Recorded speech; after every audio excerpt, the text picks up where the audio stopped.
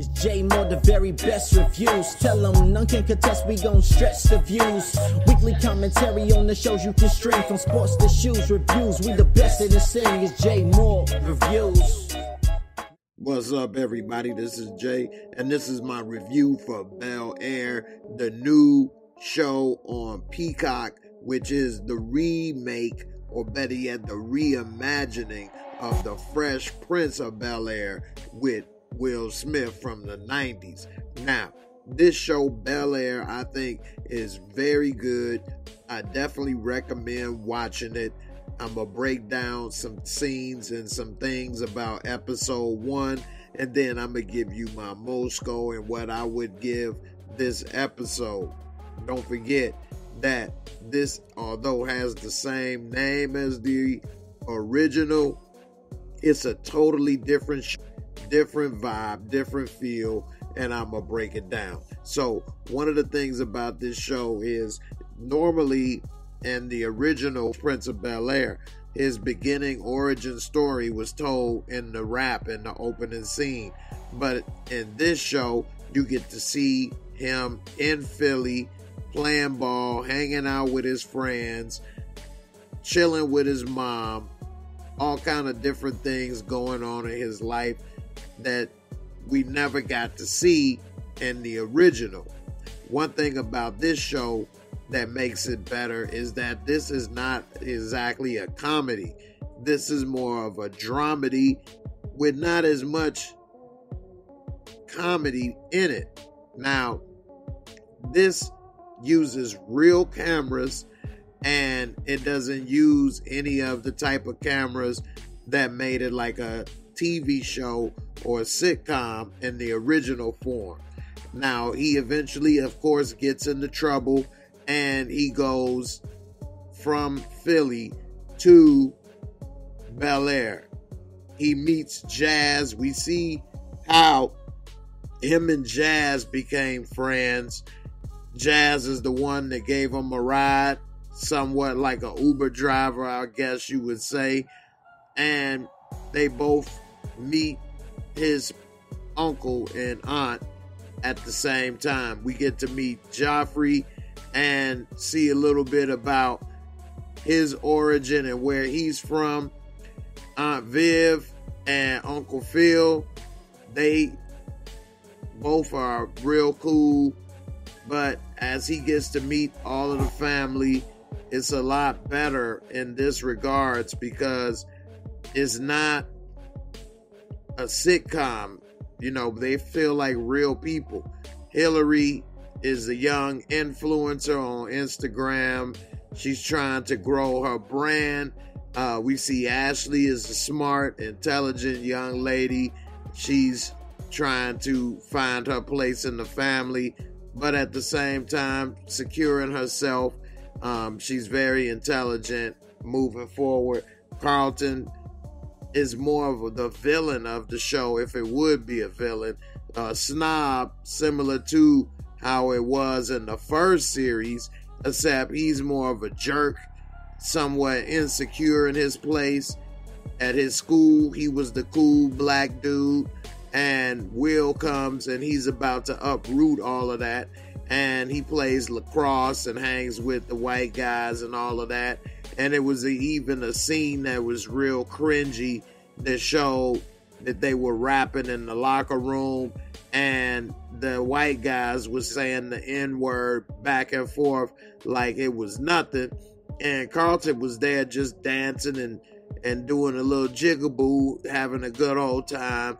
And Will came through and told everybody to chill and stepped to him. And Carlton was there to defend his friends in saying it and doing it. And it was a real good scene.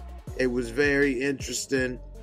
And I like how it played out. It didn't seem corny or forced or using, you know, current events as a storyline.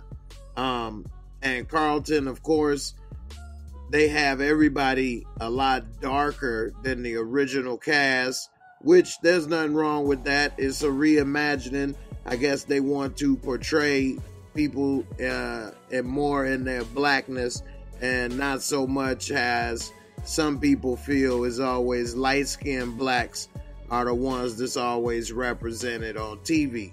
Um, now, Will Smith character was Will Smith show, and that's who he is in this. That he has the same name, um, and the character that plays Will Smith in the show does a very good job.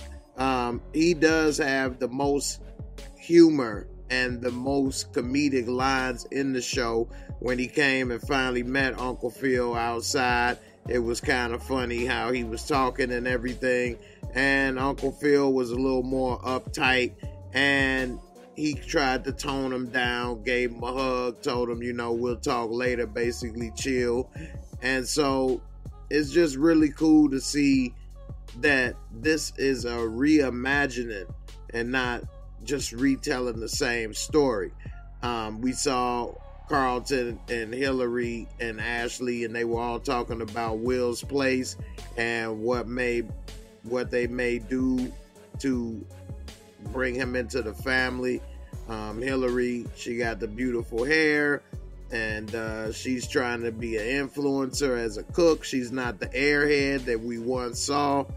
Uh, Geoffrey is not just a typical butler. We get to know a little bit more about his storyline and from Jamaica and different things. Um, and he's actually one of the coolest characters on the show.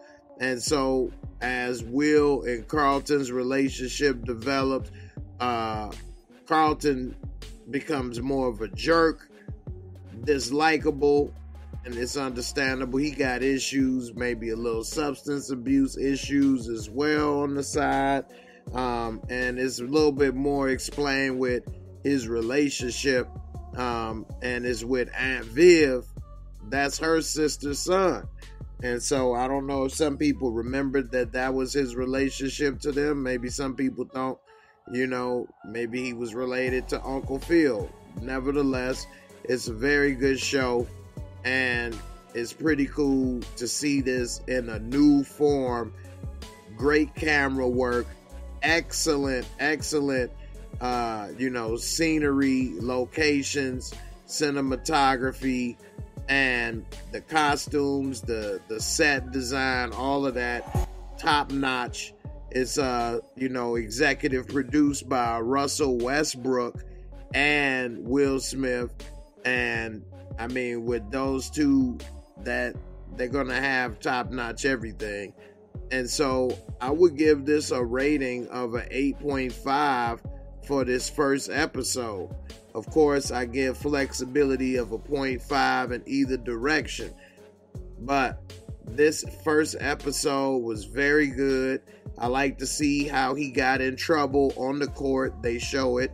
They show how he ended up in Bel Air, um, which was really cool, worth watching, and everything was really good. I mean, it's very well done. It's worth watching.